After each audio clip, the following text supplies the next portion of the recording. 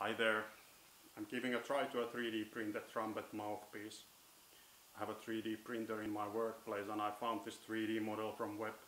So I decided to give it a shot. Uh, this is printed from PLA filament and you can find the other specs below. Uh, this should be equal to Bach 1.5C which I have here.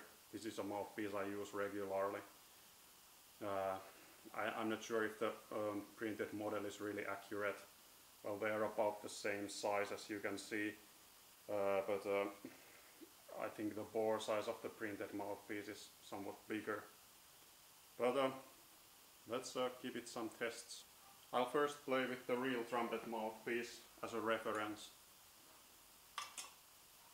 So here's a C scale.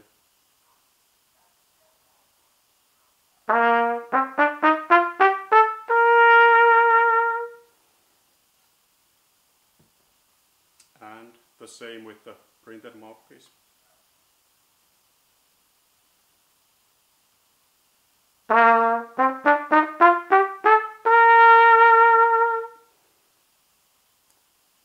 Then let's give it some jazz with the real mouthpiece first.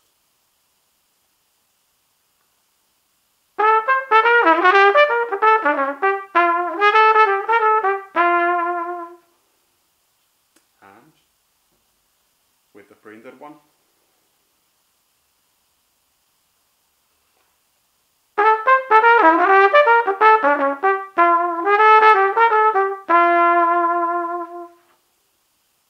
And uh, finally, I'll give it some classical music, first with the real piece.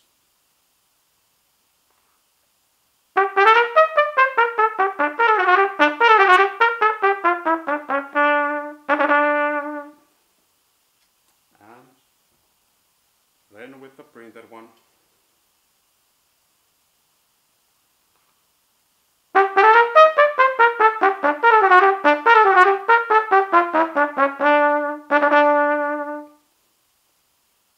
So, what can I say?